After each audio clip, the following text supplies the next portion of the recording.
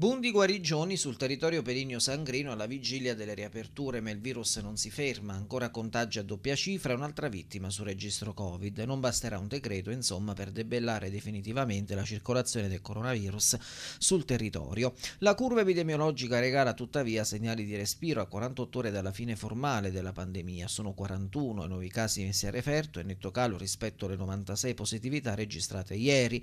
Le odierne positività sono così distribuite. 21 a Sulmona, 5 a Pescasseroli, 3 ciascuno a Pratola Peligni e Castel di Sangro, 2 a Scanno, un caso a testa per Roccaraso, Roccacasale, Ateleta, Cocullo, Gagliano Terno, Raiano, Pettorano, Sulgizio, Corfinio e Vittorito. Sotto osservazione restano le strutture sensibili del territorio, tra cui l'ospedale di Sulmona dove solo ieri sono state accertate tre nuove positività tra gli OS dei vari reparti. Non si registrano nuovi contagi a scuola. Ancora 24 ore il sistema scolastico potrà finalmente respirare respirare in vista dell'allentamento delle misure a partire dal 1 aprile.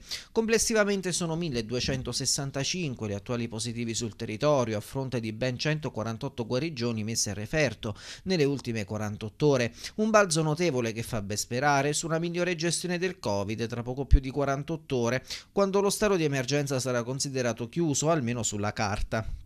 In termini percentuali le negativizzazioni questa volta surclassano i nuovi casi.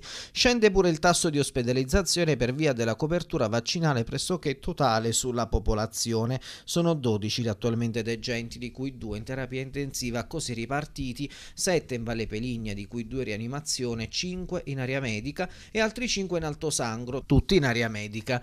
Nell'elenco si aggiungerà una donna trasportata questa mattina nelle malattie infettive dell'ospedale di Avezzano, dove aver contratto l'infezione verosimilmente nel reparto di medicina del nosocomio dell'Annunziata.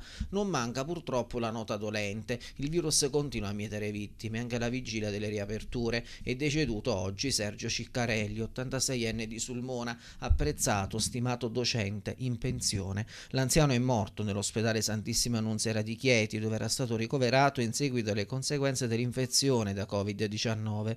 Salgono a 126, stando al riallineamento dei dati, le vittime finite su registro Covid dall'inizio dell'emergenza.